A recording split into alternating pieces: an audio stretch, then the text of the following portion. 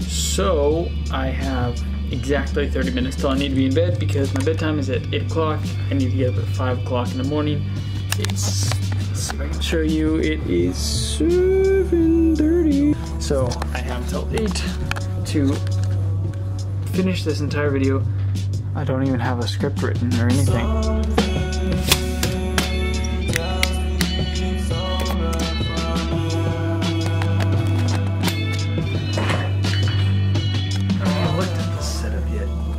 See. We're not going to even try and get this looking good. Um, okay, maybe we will. I'm not even going to make sure I'm in focus. I think I am. Oh no, the light's in frame. I've been exposed. Anyway, so hold hold up. 13 minutes left. So what is this video about? I don't know. I think it's kind of an homage to procrastination. Maybe not procrastination since I wasn't supposed to make this video. To, well, I've, I'm very many videos behind. So I guess it is procrastination. Not quite, but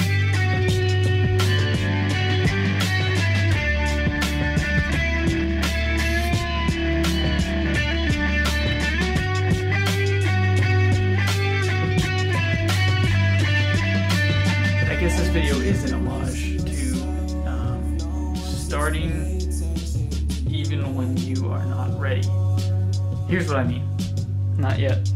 These words have haunted me for many years. Not in the way, they're not like a ghost or anything. I don't have nightmares about these words. But I've lost so much potential because of them. See, it's not like I don't do projects. I just I put them off. Um, I wait for the right time.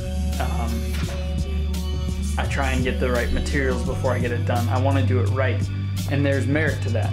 Um, there is, but sometimes you have to just compromise on certain things to allow yourself to start. Because once you start, um, you're then able to keep going. And once you keep going, you have momentum. And when you have momentum, ideas form. And when those ideas form, things get finished. And, you know, when they're finished, they're either good or they're not. And if they're not, you move on and you start the next thing. And if they are good, then you've done something that you wouldn't have done if you had waited.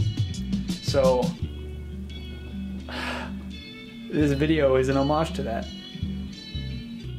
Now 7:59.